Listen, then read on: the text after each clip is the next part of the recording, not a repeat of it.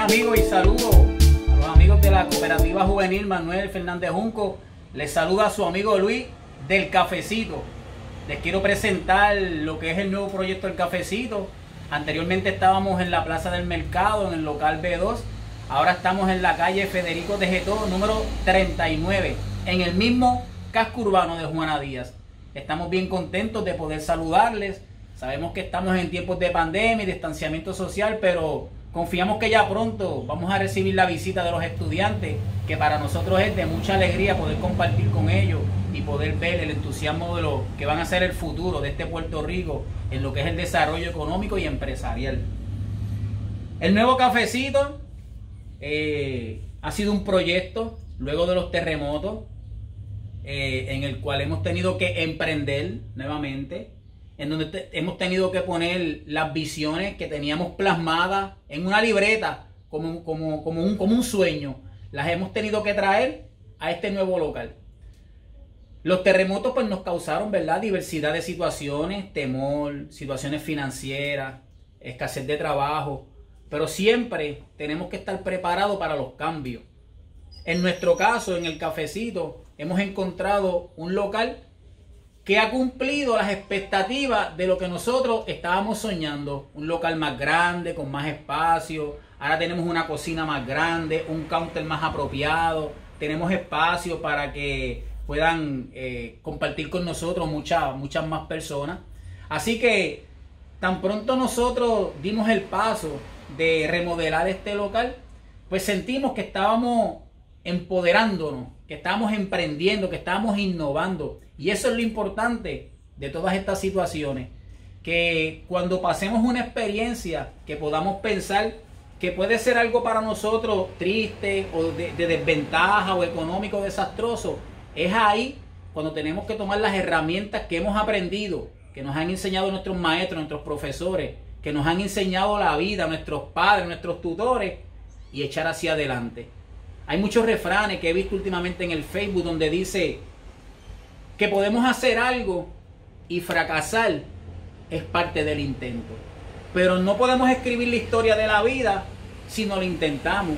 Así que nosotros decidimos escribir en la historia de la vida que estamos en la parte de la construcción, que estamos en la parte ya de la, de la apertura, pero confiamos que vamos a continuar, que el cafecito prontamente va a abrir las puertas al público. Es algo innovador. Tenemos el mismo concepto, las lámparas, rústico, madera. Siempre nos vamos a estar especializando en lo que es el fuerte de nosotros, que es el café.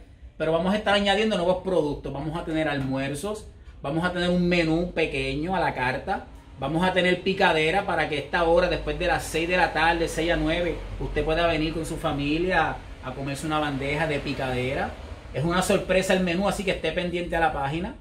Y le vamos a estar ofreciendo muchos servicios aquí en el cafecito. Estamos contentos, estamos alegres, ¿verdad? Ha sido un sacrificio y un esfuerzo bien amplio de parte de la familia. Pero queremos decirle que cuando uno se propone una meta, uno la puede lograr. Cuando uno se propone una meta, uno la puede alcanzar. Es cuestión de uno dar el paso firme día a día para alcanzar esa meta y eso es logro. En el cafecito nosotros atendemos todo tipo de público. Tenemos la experiencia de que tenemos un público de niños de 8, 9, 10 años, público de 25, 30 y un público de 60 años en adelante. Ustedes saben quiénes son los importantes para nosotros, cada uno de ellos, desde el niño hasta la persona mayor que nos visita, son sumamente importantes para nosotros. Esos son los clientes del cafecito. Nosotros tenemos la expectativa de que ahora que estamos en el casco urbano, porque creemos en los negocios del, del, casco urbano, del.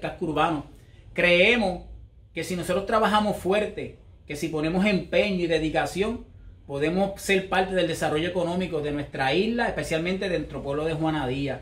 Así que usted apoye el casco urbano, apoye la empresa local, apoye los pequeños comerciantes locales. Ese dinero se queda aquí en Puerto Rico, se queda en la isla, se queda cerquita. Así que usted siempre apoye el comercio local apostamos nosotros siempre al casco urbano y sabemos que, que Dios nos va a permitir tener la bendición del éxito, que vamos a emprender, que este negocio va a ser de bendición.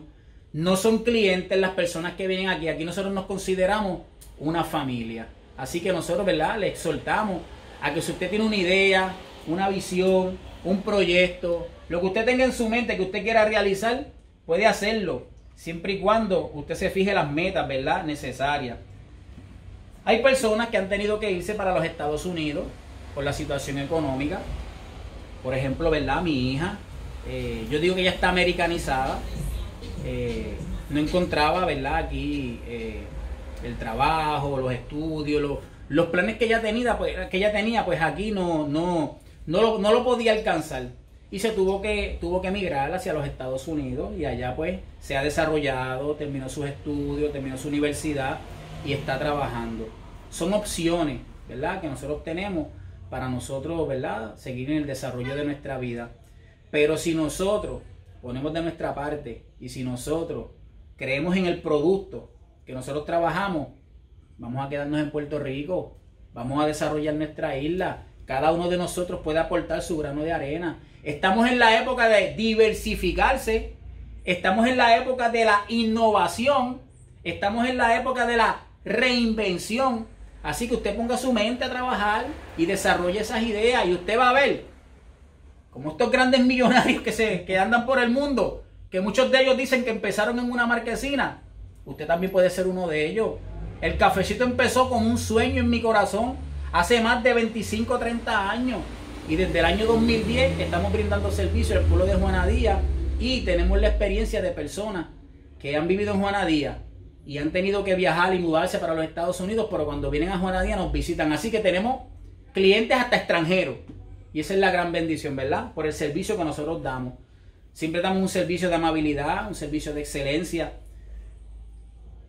Tiene que ir a la par con los alimentos. Podemos servir los mejores alimentos pero si no tenemos una sonrisa para ese cliente, si no tenemos un buenos días, si no nos hacemos familia, si no conversamos, entonces como que en la balanza se va a inclinar, ¿verdad? Hacia uno de los lados. Vamos a tener buenos alimentos, pero sobre todas las cosas vamos a tener la mejor de las amabilidades para cada uno de ustedes que nos visiten, hermano. Así que nosotros les exhortamos a que usted siga adelante, sigan sus metas, sigan sus sueños, le damos un aplauso a los estudiantes de la Cooperativa Juvenil de Juanadía, a los profesores, al profesor Bernie y a las demás personas que, ¿verdad? que participan en este proyecto. Es algo bueno, es algo que desarrolla a los niños, porque tenemos que abrir la mente de los niños. Tenemos que permitir que ellos se desarrollen en sus metas y en sus ideas para que nosotros podamos tener un mejor Puerto Rico. Así que ya ustedes saben, próximamente el cafecito va a estar haciendo su reapertura nuevamente. Le dicen el cafecito 2, el super cafecito, le han puesto muchos nombres. Usted ponga el nombre que usted quiera.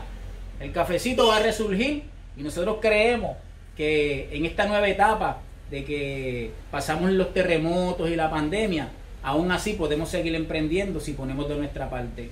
Reciban un cordial saludo y muchas gracias. Sigan adelante, estudiantes, que cuando uno sigue adelante, fijándose las metas, van a alcanzar el éxito.